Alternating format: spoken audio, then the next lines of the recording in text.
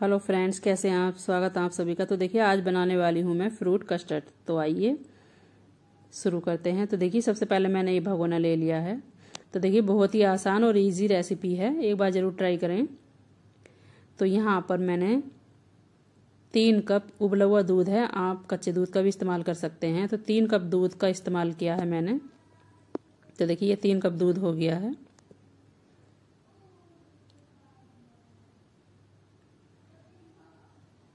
Gas open कर दी है और इसके बाद देखिए चलाते हुए नीचे न लग जाए, थोड़ा चलाएँगे इसको और उबलने तक इसको थोड़ा बीच बीच में चलाते रहेंगे।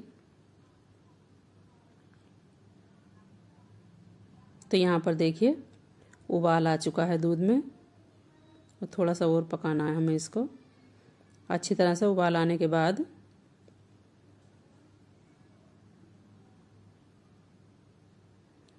तो देखिए, चीनी आप अपने हिसाब से मैंने ये आधी कटोरी से थोड़ी सी कम चीनी का इस्तेमाल किया है। आप अपने स्वाद के अनुसार मतलब आप कैसा मीठा पसंद करते हैं, हल्का या ज़्यादा, उस हिसाब से चीनी का इस्तेमाल कर सकते हैं। कस्टर्ड थोड़ा मीठा हो, तभी अच्छा लगता है।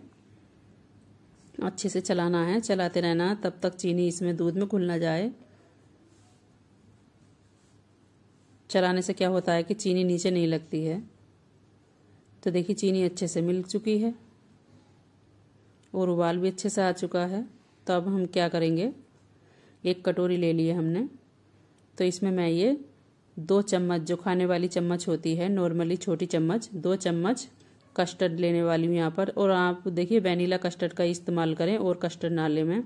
और यहाँ पर मैंने इसमें पानी डाल लिया है और अच्छे से इसको चलाना है ताकि इसमें लम्स न पड़ जाएँ। अच्छी तरह से जब तक ना घुल जाएँ, इसको चलाते रहना है। आप चाहें तो इसको ठंडे दूध में भी इसका इस्तेमाल कर सकते हैं, इसको घोल सकते हैं। तो देखिए, अच्छी तरह से ये मिल चुका है। तो देखिए, इसमें दूध में हम इसको डाल देंगे। दूध में डालने के बाद जल्दी से इसको दूध चला, दूध में अच्छे से मिला देंगे चलाकर। वो देखिए, डालने के थोड़ी सी देर बाद ही हमारा दूध ये कितना गाढ़ा हो चुका है। देखिए, बहुत फ़र्क आ गया है। अच्छे से गाढ़ा हो चुका है ये दूध। थोड़ा चलाते रहना है। चलाने से क्या होता है, ये कस्टर्ड इसमें लम्स नहीं पड़ते। तो देखिए, बिल्कुल अच्छे से तैयार हो चुका है। अब ज़्यादा देर नहीं पकाना है इसको, बस एक से डेढ़ मिनट तक और पकाना है। मीडियम आँच कर दी है मैंने। तो यहाँ पर एक उबाल आ चुका है इसमें। तो मैं दिखाती हूँ किस तरह से ये तो देखिए, इतना ही गाढ़ा होना चाहिए, ज़्यादा गाढ़ा नहीं होना चाहिए इसको।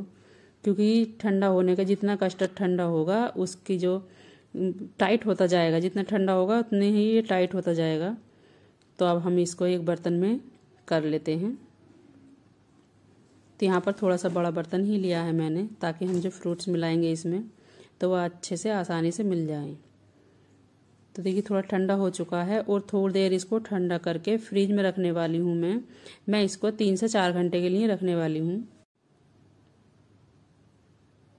आइए रखते हैं इसको फ्रिज में। तो देखिए यहाँ पर मैंने केले, पपीता, सेब और अनार, इन चार फलों को ले लिया। आप चाहें तो अपनी पसंद से कोई से भी फल ले सकते हैं तो इनको मैंने बारीक काटा, ज़्यादा मोटा नहीं काटा। तो देखिए हमारा कस्टर्ड भी तैयार हो चुका है, ठंडा हो चुका है। आप देखते हैं, देखिए कितने अच्छे से तैयार हो चुका है और इसकी जो पहले से है थिकनेस काफ़ी गाढ़ा हो चुका है। तो अच्छे से इसको चला के इसमें मैं फल ऐड करने वाली हूँ। बिल्कुल बढ़िया हो गया, जैसा हमें चाहिए था। गाढ़ा नहीं है, ना ही पतला है ज़्यादा। तो यहाँ पर सबसे पहले मैं देखिए, एप्पल। थोड़े से गार्निशिंग के लिए बचाने वाली हूँ। उसके बाद पपाया।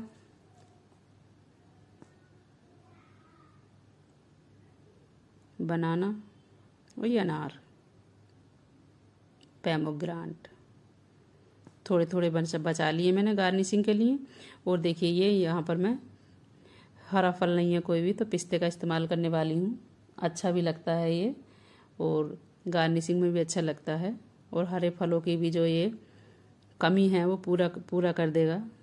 अच्छा भी लगता है। तो देखिए, इसको अच्छे से मिलाना है। अच्छे से मिला लिया मैंने। तो देखिए, कितना अच्छे से तैयार हो चुका है। और जो फल हैं, वो ज़्यादा मोटे भी नहीं हैं और बारीक भी नहीं है, इस तरह से इसी साइज़ के काटें। तो आइए, अब हम सर्विंग बोल में इसको कर लेते हैं। ज़्यादा गाढ़ा क्या होता है? ज़्यादा गाढ़ा में वो ना इतना स्वाद भी नहीं आता, वो अच्छा भी नहीं लगता है थोड़ा सा पतला ही अच्छा लगता है ये। तो देखिए, बहुत ही टेस्ट लगने वाला, क्योंकि ये ठंडा ठंडा बहुत अच्छा लगता है खाने में तो अब गार्निश करते हैं तो देखिए, अनार,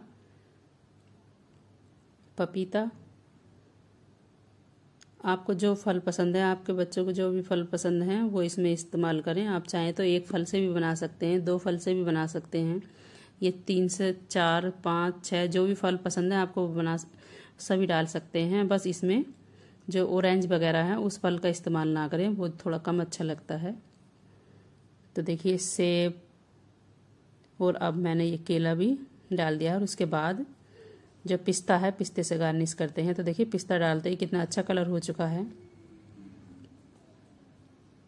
एक बार ज़रूर ट्राई करें। ये रेसिपी बनाना बहुत ही आसान है, कोई भी बना सकता है।